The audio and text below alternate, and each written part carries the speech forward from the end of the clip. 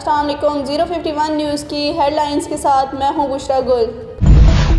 पाकिस्तान के F A T F के grey list से निकलने के इम्कान जर्मनी में जारी फेटव इजलास का हतमी इलामिया आज जारी होगा। तहरीक इंसाफ ने ग्रे लिस्ट से निकलने का दावा कर दिया। हुकूमत की नतज और क्या सरायों से ग्रेस की अपील। एफ़ ए टी एफ़ आज रात इजलास के बाद बयान जारी करेगा।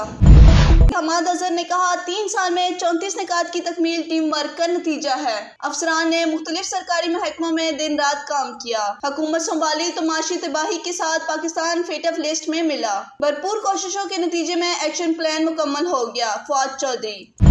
तहरीक इंसाफ ने गैर मुल्की मरासले पर कमीशन का मुतालबा दोहरा दिया। शहबाज शरीफ ने असम्बली फ्लोर पर साइफर की हकीकत को तस्लीम किया। शहबाज गिल का कहना था, पाकिस्तान को डुबोया जा रहा है, ये साजिश के बाहर नहीं हो सकता। साजिश और मुदाहलत की तहकीक के लिए कमीशन बन जाना चाहिए। सदर ममलिकत ने चीफ जस्टिस को पहले ही हाथ लिख रखा है। D G I S P R की कमीशन बनाने की हमायत खुश आनंद है। लाहौर में बारिश के बाद नशीबी इलाके जेर आब बिजली बंद। लेस्को के 300 फीडर्स ट्रिप कर गए। पाकिस्तान स्पोर्ट्स बोर्ड की ट्रेनिंग हॉल की छत से पानी टपकने लगा। वज़ीर अला हमजा शहबाज की मुतल दारों को अलर्ट रहने की हदायत।